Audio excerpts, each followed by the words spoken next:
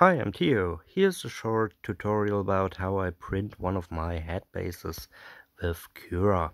So first of all, I open the file. Uh, you can download my files from Thingiverse or Printables. It's the same file on both sides, so there are some more files on Printables these days because I find it easier to upload them there. So if you have opened the file, it will open in the default size. Usually I write in the description what the file is supposed to be used for and also the file name can tell you what the file is meant to be used for. If the file name starts with fursuit, it's supposed to be a fursuit head base if it starts with puppet, it is built for a hand puppet. And as you can see here, I'm mostly using the default material profiles in Cura, so either TPU 95A or PLA. And I'm only changing some really minor settings. Uh, the number of outer walls I usually set that to 3 and if I use infill I like to use gyroid but all the other infill types work as well. I usually set the print bed to about 40 degrees. That seems to work fine with me. Um, and for better adhesion to the print bed, I use a brim. 6 millimeters is usually enough.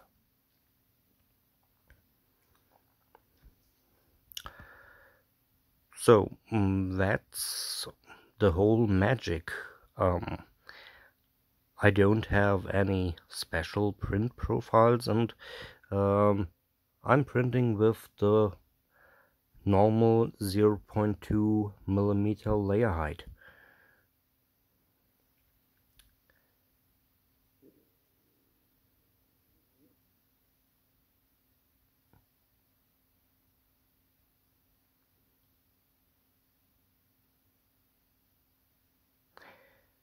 Well, slicing takes a few moments and as soon as that is finished we can look into the preview how it will be printed. I print this without supports. Um, most of my head bases are optimized to be printed without supports so you don't need them. Um, if you want to use them just use tree supports for the overhangs that are over 70%. Uh, that's enough.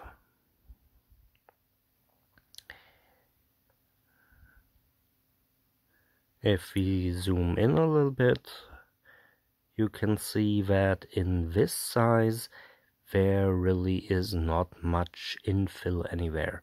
So I optimized this print um, to more or less do not uh, do not need more than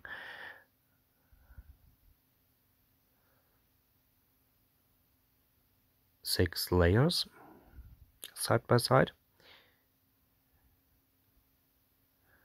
Uh, absolute maximum.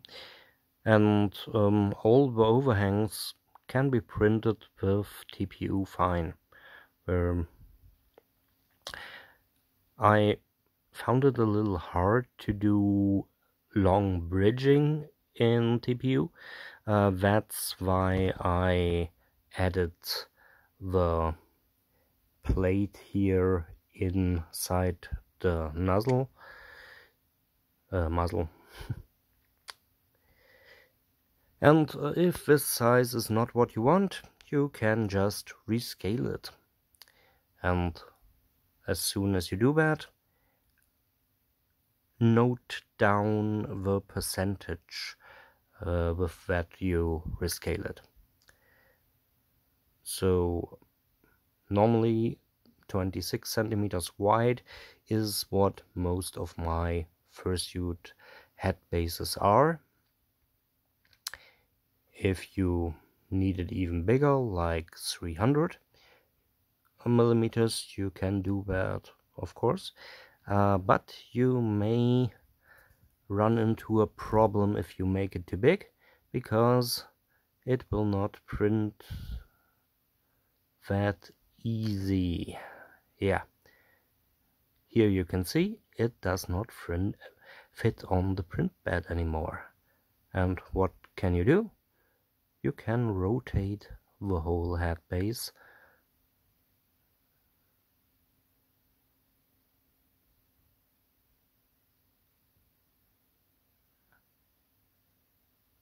and it fits again. Of course, that is only possible if your print bed is big enough. And I do recommend the print bed with uh, 300 by 300 millimeter size minimum for fursuit head bases.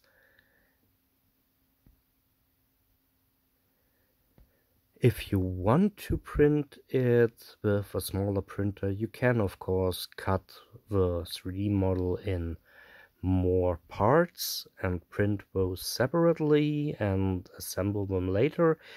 But I have to tell you, I know a lot of people that did not manage to get that back together like it should be because it's really harder to do and it doesn't work for everybody i used to do it um, back when i only had one printer with a very small print um, but the failure rate is really high.